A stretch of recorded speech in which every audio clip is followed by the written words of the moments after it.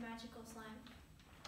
Magical slime can entertain bored people. You can stretch it, squeeze it, make stuff out of it, and poke it to make sounds. You can also make bubbles and pop them. Our competitors are other people who work with slime themselves. 81,000 people watch slime videos. We can make 81,000 customers buy our product. We can sell it at stores like clothes stores because kids get bored when they have to shop for clothes with their parents.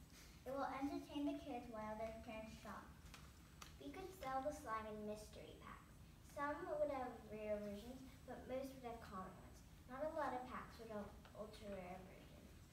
Common versions would be glitter slime, regular slime, DIY slime, edible slime, clear slime, and crunchy slime. The rare types of slime are unicorn slime, glossy slime, bubblegum slime, magnet slime, glow in the dark slime, and rainbow slime.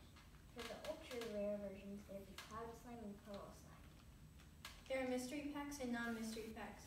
Mystery packs come with two random slimes and cost $12. Non-mystery packs would cost $6.